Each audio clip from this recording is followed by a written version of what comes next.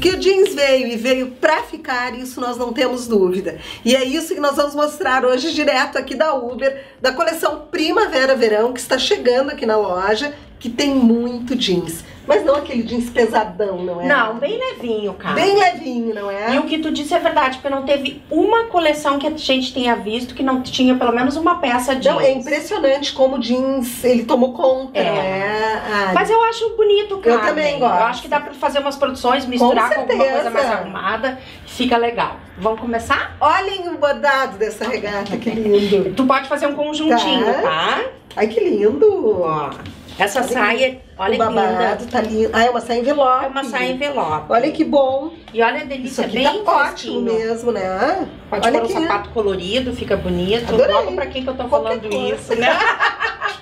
A mulher de sapato colorido. É. Olha esse, Carmen, bem que basiquinho, uma regata.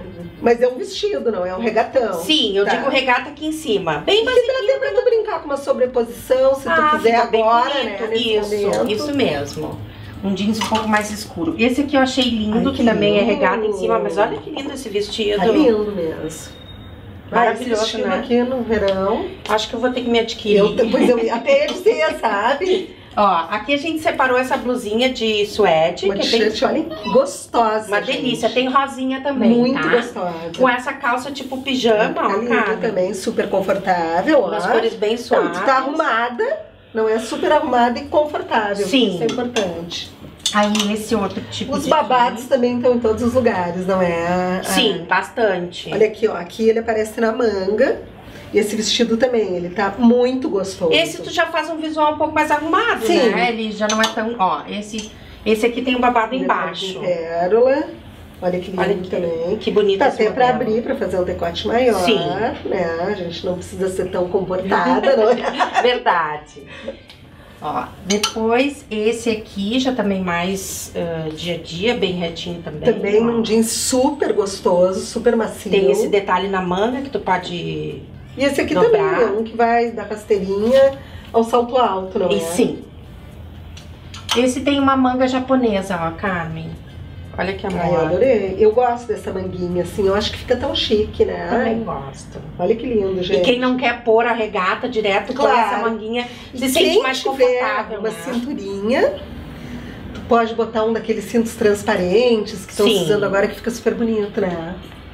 Aqui Ai, tem a blusinha. Pode ser ombro a ombro ou não. Olha que linda. Bem soltinha, assim, bem tipo batinha, né? Sim. E aí tem a calça, ó, Carmen, que tu pode fazer Ai, que também. linda. Fica tipo um macacão.